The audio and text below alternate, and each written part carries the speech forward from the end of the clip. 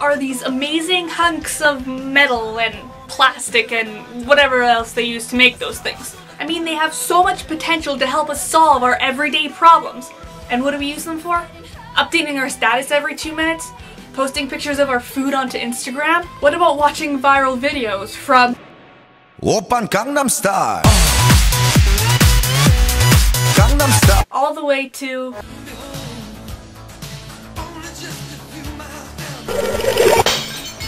Oh, those cats get me every time.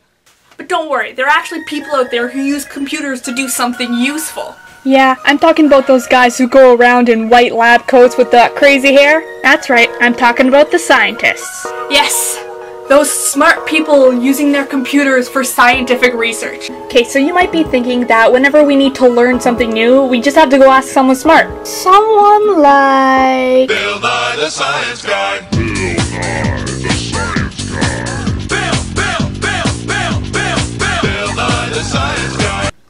Or what about Miss Frizzle? Seatbelts, everyone! Please let this be a normal field trip. With a frizz? Sadly, I could not find an episode of the Magic School Bus that relates to the topic I have chosen, which I should probably introduce. Ladies and gentlemen, bioinformatics.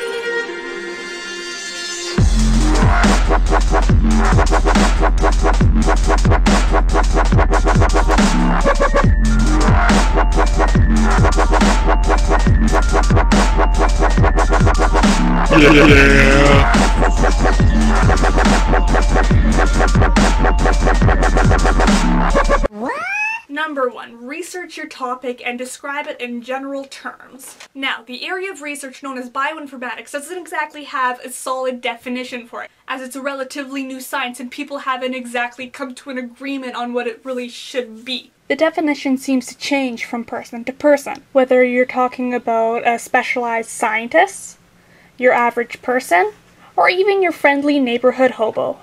In simple terms, it's biology, computer science, and information technology all wrapped up in one big scientific field of research. So what exactly do bioinformatics scientists do? They pretty much create and develop advanced information and computational technologies for problems in biology. Mainly they work on molecular biology, which is DNA, proteins, and other microscopic things that keep you alive. And I like being alive.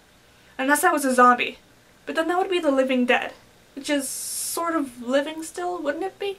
Anyway, bioinformatics isn't just limited to the molecular level. It's increasingly advancing in other fields of biology, like population modeling, medicine, or behavioral health data.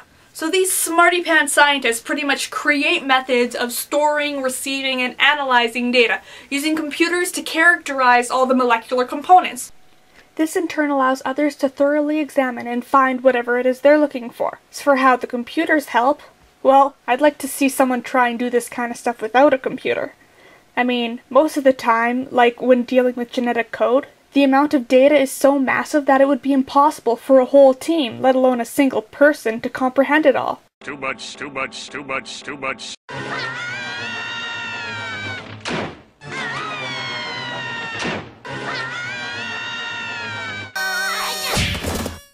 And the whole bioinformatics scientist is just like an electric version of biology, which would be hard if you didn't have the electric part. Well, it's pretty much all I got. Hope that helps. Here's a video of a screaming goat.